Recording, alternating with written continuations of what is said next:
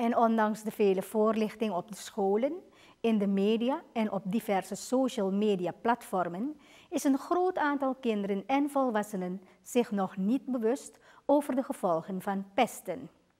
Pesten wordt in andere landen als vorm van geweld strafbaar gesteld.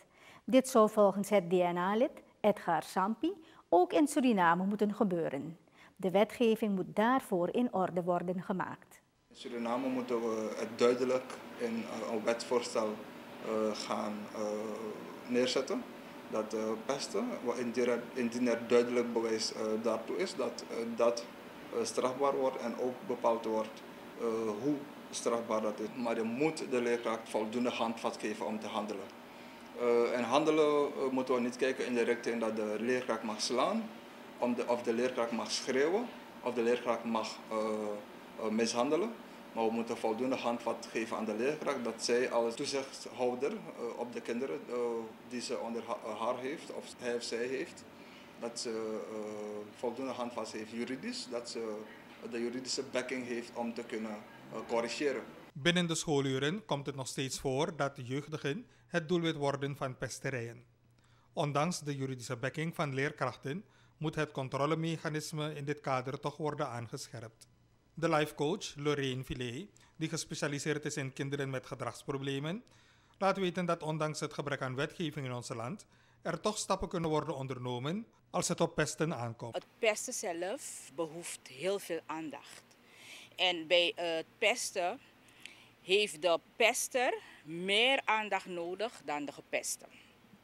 Omdat eigenlijk een, kind uh, dat andere, die door die andere pest eigenlijk. Het is eigenlijk tijd dat we echt gaan kijken wat er gebeurt met dat kind.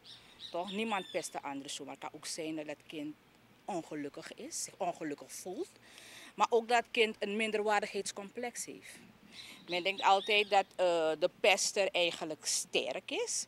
Maar het is uh, bewezen dat ze emotioneel heel veel, met heel veel zitten. Pesten en plagen worden vaak genoeg door elkaar gehaald.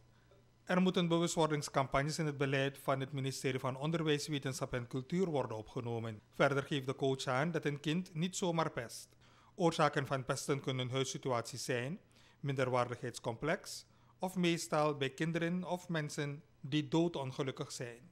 Vragen voor bewustwordingscampagnes. Misschien kan het ook uh, opgenomen worden in uh, een curriculum, basic life skills, op de scholen. En dan kan men het breedvoerig gaan hebben over pestgedrag. Het is een beleid die eigenlijk, het moet een ongoing proces blijven. Omdat je het steeds weer hebt. Kijk, je kan werken met deze groep die pest. Maar daar steekt er weer een groepje de kop op die weer begint met pesten.